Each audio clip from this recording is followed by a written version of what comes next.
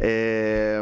O presidente Jair Bolsonaro afirmou nesse sábado que o governo pode não conceder aumento a servidores esse ano, no momento em que parte das categorias se mobiliza por reajustes e que auditores da Receita Federal fazem operação padrão o presidente disse que apela para a sensibilidade dos profissionais e que não há espaço no orçamento. A reivindicação de reajustes entre servidores se multiplicou depois que o presidente pediu que fosse incluída a previsão no orçamento para reajuste das categorias de segurança que fazem parte da base de apoio do governo Bolsonaro. Ele destacou que os servidores estão sem reajuste há três anos e que foram afetados pela reforma da Previdência. Kim Rafael, foi só o servidor na área de segurança que foi afetado pela reforma Previdência e por esse achatamento, inflação, reajustes, não reajustes. Tá certo presidente, tá errado, tá certo servidor, tá errado servidor, faz greve, não faz greve, como é que fica isso tudo? É, mas nesse caso da segurança não tem nem como fazer greve, né? E outra coisa também, a questão do, da base eleitoral do presidente, eu acho que não é só porque é da segurança pública quer dizer que seja a base do presidente Bolsonaro.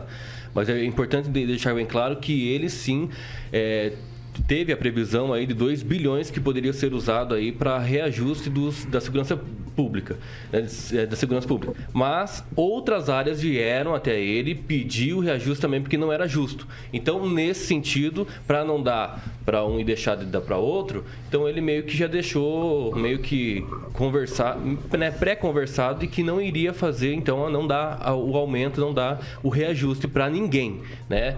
Mas é ano eleitoral, nós sabemos que também é, se há três anos que não tem reajuste para a parte de segurança pública, eu acho que é muito cedo para ele dizer que não vai ter para ninguém. Talvez tenha, porque previsão de 2 bilhões tem.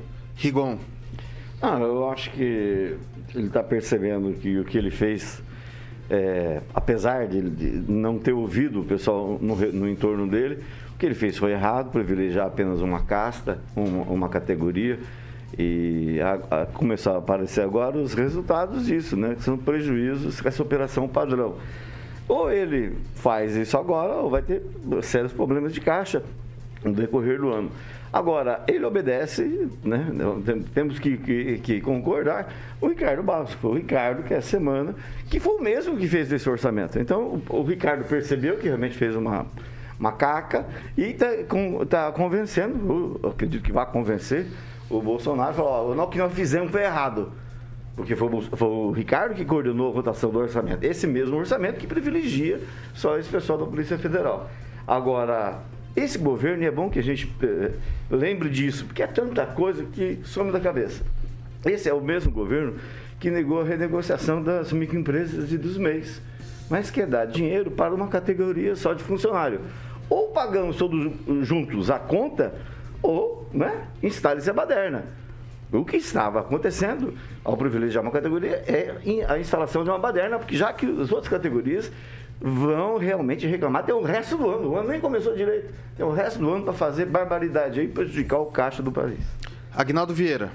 É como disse o Kim, ano eleitoral complicado você não ter os servidores é, na mão né, para uma eleição. Mas o presidente sente na pele né, como é, é fazer esse gerenciamento do Estado com todos. E nós teremos aí esse ano é, eleições e o governo mesmo né, já disse em, em buscar uh, uma vice, um, um, vice para a sua chapa do Centrão, então é, ele vai ter problemas realmente, né? Então fica difícil, eu acho já lá na frente a reeleição do nosso presidente, Kim.